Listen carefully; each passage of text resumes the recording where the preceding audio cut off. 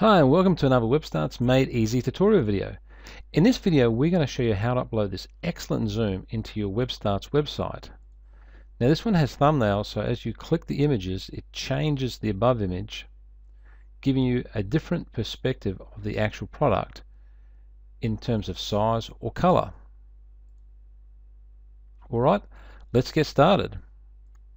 First thing we need to do is open up our folder. Now like I've said in all the Zoom tutorials, I assume that you've opened up your folder and you've uploaded all your links and images into your WebStarts website and you've now add those links within your HTML code. So if I was to open this up, as you can see, the links in this particular code are linked to the actual folders that's in this particular file. Now, what you should have done by now is now added the actual external links like this code here to your HTML code. Now once you've done that it's ready to upload into your WebStarts website.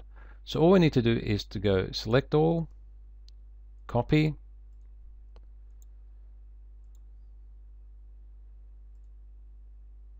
insert an HTML code, paste, click OK, and then bring out the parameters so we can see the entire zoom like so.